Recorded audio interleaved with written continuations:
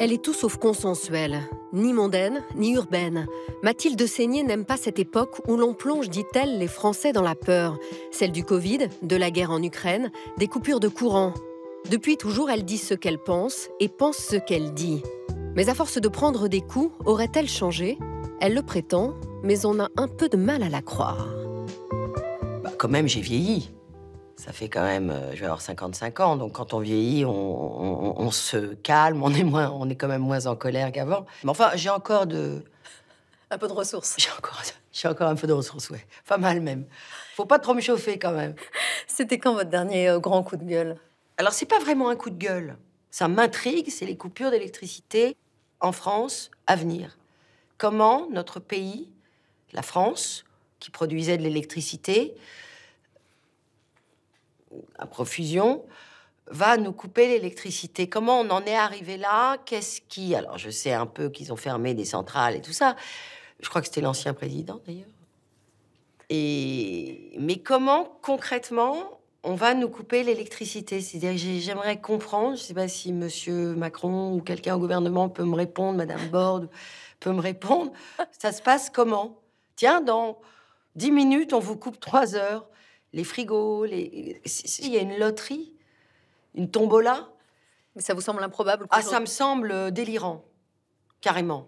Ça me semble un délire. Votre caractère euh, bien trempé, on le retrouve dans votre dernier film, Cœur de rocker. Vous faites Chanteuse dont la carrière euh, peine à décoller, vous acceptez un job, faire chanter des comptines à des retraités dans le cadre d'un programme social, mais eux veulent faire du rock. Et vous allez monter en secret la plus improbable des chorales. En quelques semaines, ils ont appris à chanter, à bouger, à tenir tête au public et à s'assumer. Et en plus, ils ont donné de la joie. Vous donnez quoi, vous À part du mépris? Êtes-vous, comme l'héroïne du film, une femme proche des vrais gens contre les bien-pensants coincés? Oui, bien sûr. Moi, j'adore les, les, vrais gens. D'ailleurs, de plus en plus en vieillissant, je vois de moins en moins de gens du, de, mon milieu. Et comme je me suis acheté une maison dans le sud, je me suis fait tout un groupe d'amis dans le sud que j'adore et, je me sens bien avec ces gens. De... Ça m'aère le, le cerveau, moi. Rien ne vous plaît dans l'époque actuelle? Alors, dites-moi. Proposez-moi, qu'est-ce qui. Parce que alors là, j'ai pas d'idée. Alors, je vous répondrai. L'avancée des droits des femmes, la libération de la parole des femmes. La libération de la parole des femmes, bien sûr que c'est formidable. Faut pas que ça, c'est des, ça, ça ait des dérives non plus, mais ça c'est bien, oui. Les nouvelles technologies Non, j'aime pas. J'aime pas tellement tout ça, moi. Vous êtes sur Instagram, sur les réseaux sociaux? Alors j'ai Instagram, mais je poste très peu. Pourtant, vous les détestez, ces réseaux sociaux? Ben, j'en ai qu'un. C'est Instagram. Pourquoi y être? Parce qu'on m'a demandé d'y être, pour, parce qu'ils me demandent quelquefois des, des Vos équipes? Vos équipes vous demandent de l'être Oui. Vous voyez que je suis quand même soumise par rapport au tout début.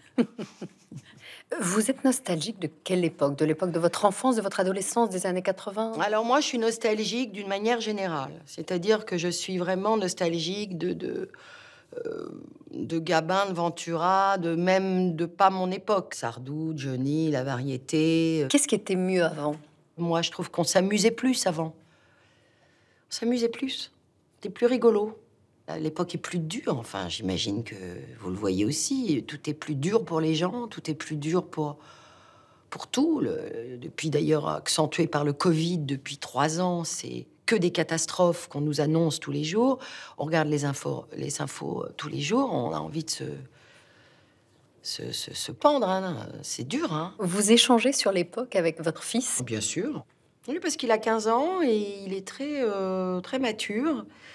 Et il a, il a un vrai point de vue, évidemment très différent du mien, parce qu'on n'est pas du tout de la même euh, génération, de la même époque. Lui, il est forcément connecté à l'époque. Vous, ah oui, oui, vous lui donnez pas le bourdon à dire l'époque, euh, l'époque est nulle, l'époque est triste, l'époque est violente? Non, parce qu'il trouve ça original. Donc, euh, et puis bah, quand même, il y a quand même quelques petits trucs bien dans l'époque. Je cherche, hein, je cherche. Elles doivent être animées les, discussions chez les saignées. Oui, oui, pas mal. Ah oui, ça, ça, ça y va, ouais. Vous dites que vous êtes une anard de droite, c'est-à-dire Bah, c'est-à-dire que j'ai plutôt été élevée dans, avec une famille euh, d'idées euh, de droite, plutôt dans le, dans le gaullisme, dans, dans, dans, la droite euh, très classique. Et, et mon papa était très, très, euh, très poète, très voilà. Donc je me, me suis dit un art de droite, ça me va pas mal, mais en fait, euh, j'ai envie de dire, je suis pas très politisée. hein. Votre père, Jean-Louis Seigné, qui était euh, artiste, écrivain, parolier de Johnny, de Christophe, vous disait que vous aviez parfois des propos communistes. Euh, oui, parce que j'ai des, j'ai des contradictions. Euh, à un moment donné, je voyais Mélenchon, hein, mais bien, bien. J'ai dû dire, Mélenchon est pas mal, il est marrant. Non, mais ce qui est marrant à la télé, il, il a une grosse personnalité, donc moi c'est ça qui me plaît, tous ces gens qui ont des grosses personnalités au fond. Qu'est-ce que vous auriez de communiste? Bah, euh, ce que j'aurais de communiste, c'est que je suis très très proche de la France euh, profonde et, et je la soutiens et, et les agriculteurs. euh. Qui est Alors pas, si pas forcément de gauche, d'ailleurs. non, Ouais. oui, qui est pas forcément de gauche, tout à fait d'accord. Hmm. Mais voilà, ça peut être ce genre de choses. Bon, par rapport même aux gilets jaunes, proche des gens, quoi.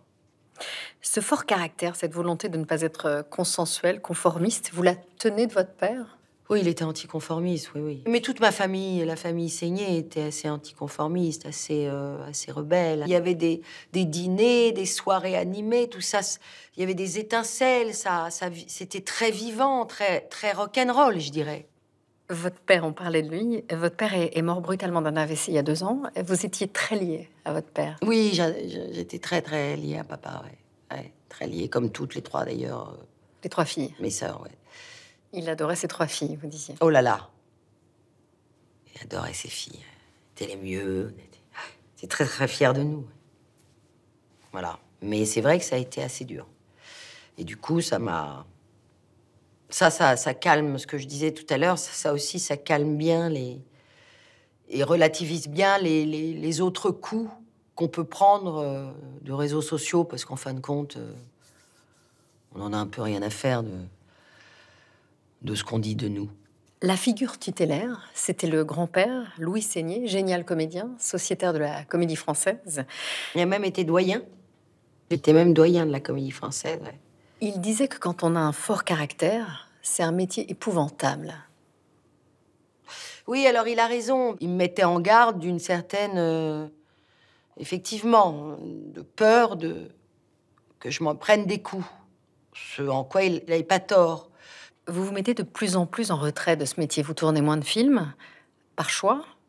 Moi, j'ai fait une pause pendant un an là. Pourquoi? Bah, parce que justement, après le départ de mon père, euh, j'ai- eu envie de, de profiter de la vie, de, de faire quelque part un deuil, parce que je m'étais plongée dans le travail.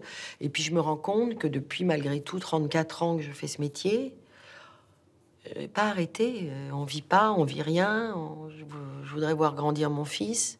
Mais vous pourriez arrêter le cinéma? Oui, maintenant? Oui. J'ai très très sincèrement encore besoin de gagner un peu ma vie. Mais euh, bah là, en tout cas, les un an et un mois m'ont prouvé que ça me manque pas, forcément. Le piège de cette pause, c'est on n'a plus envie de retravailler du tout.